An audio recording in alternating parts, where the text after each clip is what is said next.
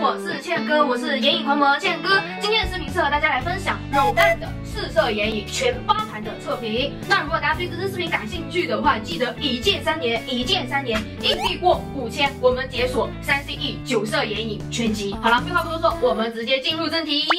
那在开始这支视频之前呢，继续和大家说一下核心色的概念。核心色呢，就是一个眼妆的主基调色。一个有层次的眼妆需要三个颜色，第一个颜色主基调色。另外一个颜色加深色，还需要一个颜色高光色。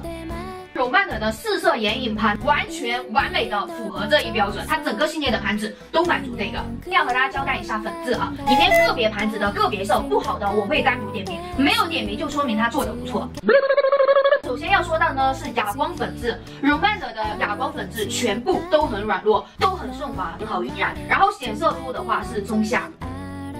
整个系列的盘子中呢，没有一盘是纯珠光的珠光色啊，所有带的都是闪片色。这个闪片色呢，既偏光色，没有底色的闪片色，和国产的、欧美的、日系的闪片都不大一样。可以类比克莱欧的闪片啊，也是一样的质地，感觉是把玻璃碎纸打碎了抹在你的眼皮上，它很清透，很漂亮，不在太阳光底下，阴天依旧能看到它的闪耀。它的缺点也很明显，持久度不好，上的过程中比较飞粉。如果你 care 这个问题，需要在上妆之前用刷子喷湿以后，再蘸取这个亮片色，这个问题呢会得到改善，但不能完全解决。只买一盘选柔曼的零一，唯二选择零一，还有 M 零一，逆键顺序是零一 M 零一零三 M 零二。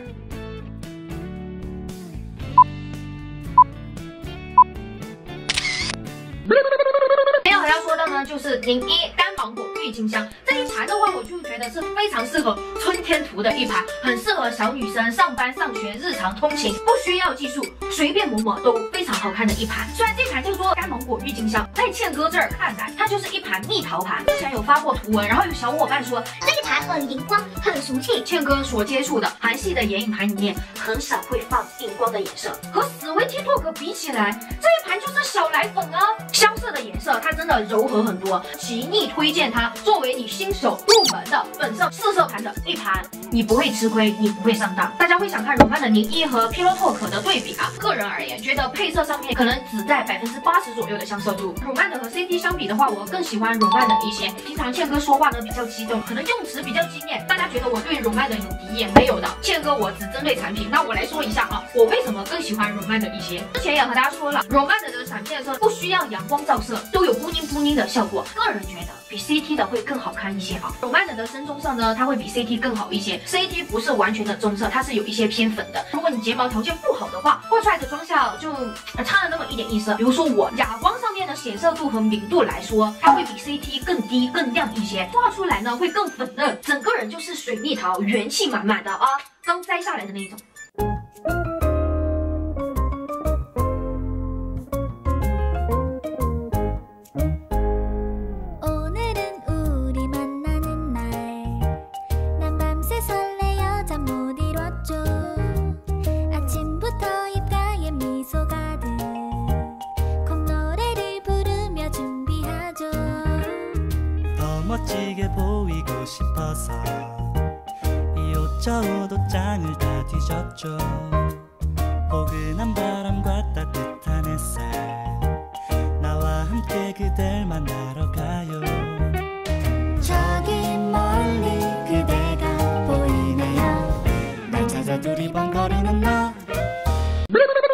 那接下来我们说到的色号呢是零二号。 呢，也算是一盘比较粉的盘，画出来的妆效呢也是比较温柔的，适合上班族通勤的时候使用。这一盘呢，算整个系列里面比较显色的一盘。之前我说不推荐它，现在来补充一下理由。理由一，这个盘子中呢有两个粉色，我现在拍摄很明显能看出来，这两个粉色它是有色相变化的，这一个偏橘橘粉，这一个偏紫紫粉。但是呢，我们现在来取一下粉，给大家晕染开，看这两个颜色啊，抹出来两者色相区别。几乎没有，几乎没有。那倩哥对于小盘子的要求就是不希望有重复的颜色，因为重复的颜色给我感觉就是花冤枉钱。原因二就是这个深棕色飞粉，指的是你画在眼睛上，它会掉在你眼下这一圈都是，感觉你眼妆脏兮兮的，所以倩哥把它列入了不推荐的名单里面。整个盘呢挂出来的妆效还是蛮好看的，蛮粉嫩的，妆效是没有问题的，主要问题在粉色和配色上面。这一盘也不是没有优点，像这个颜色的话，你把它当做腮红涂在你脸上，是能看到色相的区分的啊。这两个颜色当腮红很不错。还有很多小伙伴就在纠结哪一盘会和祛露薄荷更像一些，那每一盘呢，我都会给大家对比一下上眼的区别，大家可以根据这个来参考，根据自己的喜好去选择。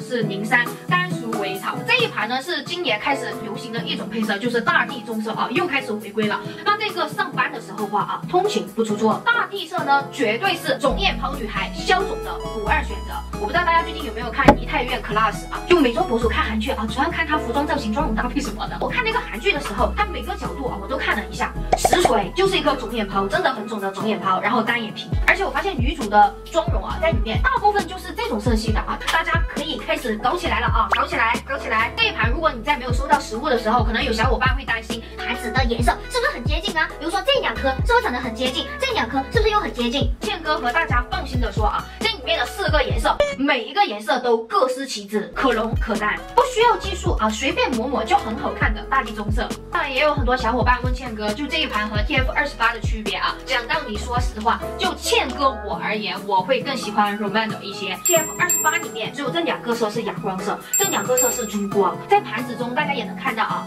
它又被我盘滑了，又开始结块了，而且这两个颜色上在眼睛上不大能看出来光芒，就这个妆效一对比，确实布灵布灵亮闪闪的这种会好看一些，除非你不涂这个珠光啊，不涂珠光又有一些成分，然后这个珠光点涂上面也没有很好看。但是我们有一说一啊，TF 的哑光色呢，确实要比 Roman 的。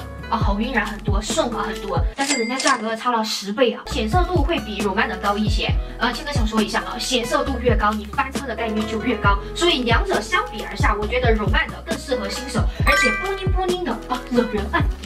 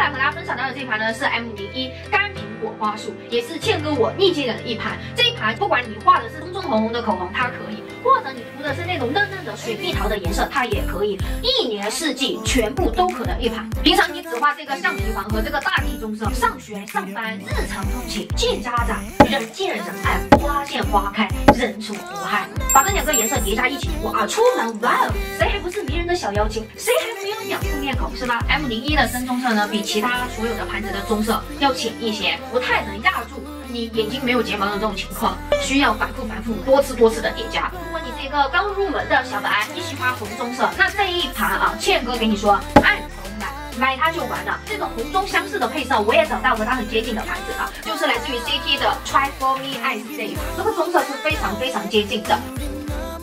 所以，如果你有在困扰红棕盘，买这一盘就完事儿了。只是这一盘没有这一盘里面的金色而已啊。但是我觉得啊，已经够了。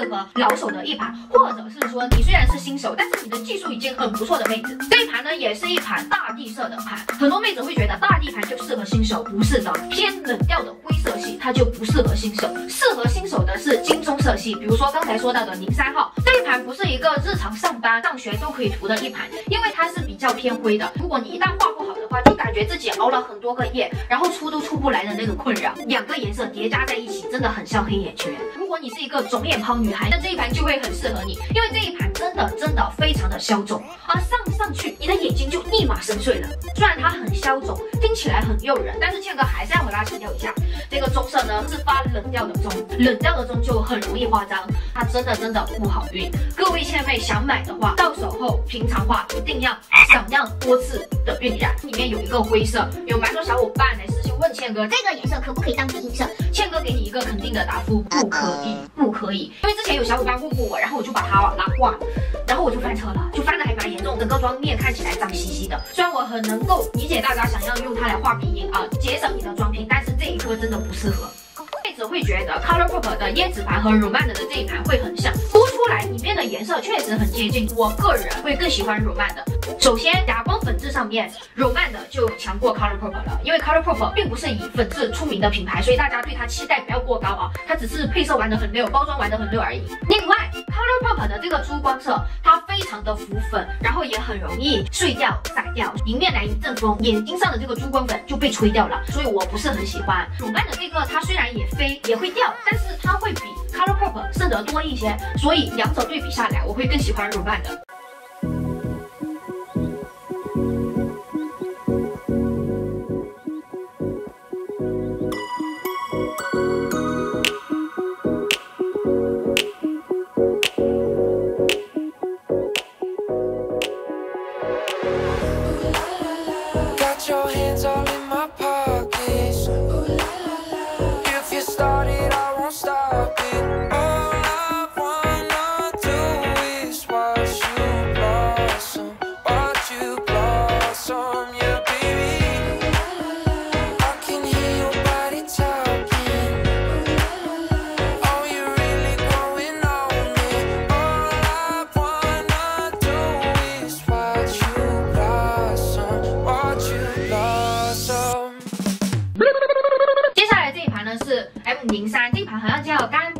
波斯菊还是干什么？我发现 Romand 的取名字啊，真的，嗯，所有都是干干干干干。这一盘呢就比较适合上班通勤日常的时候使用的。在倩哥眼里，这一盘和零二基本没有区别，就感觉你买到了一盘假盘子，然后它稍微做了一些些色调的区别而已，就换了一个颜色就没有了。我真的，嗯，不大能看出它俩的区别来。不过这一盘呢会比零二好一些，因为它这个主基调色呢会比零二更偏橘一些些。虽然盘子里面看起来它比零二深，我也不知道它是怎么做到的啊。然后里面呢又多了一个打底色，这种颜色呢不仅是用来做打底的，还可以用来晕染你眼睛轮廓的边缘。眼妆干净的秘密就是轮廓晕染自然。是可有可无的，因为这个你可以用你自己手里面的粉饼啊，或者是蜜粉啊晕染边缘就可以了，效果是一样的香。但是这个盘呢和零二一样哈，整体都没有。很戳我，因为这种紫粉、玫瑰色调、干玫瑰色调的，我还是喜欢偏橘调一点点的，所以我个人觉得啊，是没必要收的一盘，只是我个人意见而已。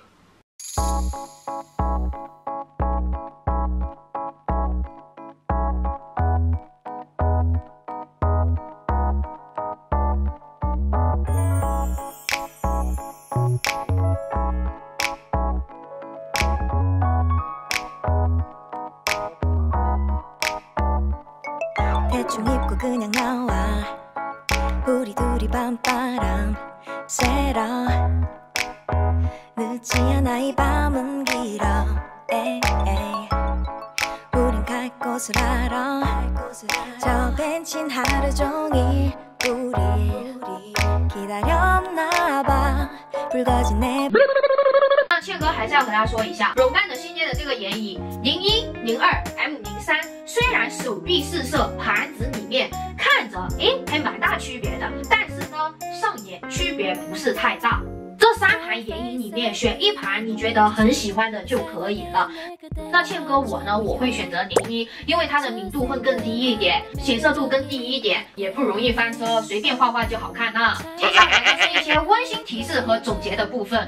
Roma 的本色系的眼影零一、零二、M 零三都是可以当做腮红使用的，就这种浅浅的这种颜色，这也是给到大家一个启发啊。你平常如果买到了腮红，你也可以把它当做眼影画，又好晕染，又服帖，又自然。在哥再给大家举一个例子，可能你没有注意到，但是我觉得对于个人用眼影盘来说，这样真的很关键。比如说 Romand 的零三和 Roman 的 M 零一，哎，麻烦了，大家看一下，感觉这两盘就不搭啊。但是和大家说一下，这个亮片色和这个亮片色基本可以画等号。那唯一的不同呢，就是这个红色还有这个棕色了。如果大家买了这一盘零三号，那你再买一个单色的眼影红棕色，你就得到了 M 零一的配色。果你在那个的基础上，你再加一个蜜桃粉的单色，你又解锁了零一的配色。那要和大家说一下啊，红发安妮系列的眼影呢，和普通版是一样的。但是我看到很多卖的卖家没有说这个问题，倩哥提醒一下大家，零一呢等于红发安妮零一，M 零一呢等于红发安妮零四啊。除了包装上面印的有红发安妮以外，其他的是没有任何不同的。我不知道为什么红发安妮会卖的更便宜一点，但是我觉得它是应该卖的最火的两个颜色，然后给大家出到限定啊。如果大家有喜欢的话，可以去买红发安妮的，更便宜一些。那最后，现在再给大家一个总结啊，Roman 的他家的产品真的很符合我们亚洲人啊，不愧是美妆博主出道的牌子。里面虽然有一些我不喜欢，但是呢，你任选一盘出来，画出来的妆都是美美的妆。好了，今天的视频呢就到这儿结束了啊。最后，倩哥再求大家一键三连一波，硬币过五千，我们解锁三 C 一合集。好了，今天的视频就到这儿结束了。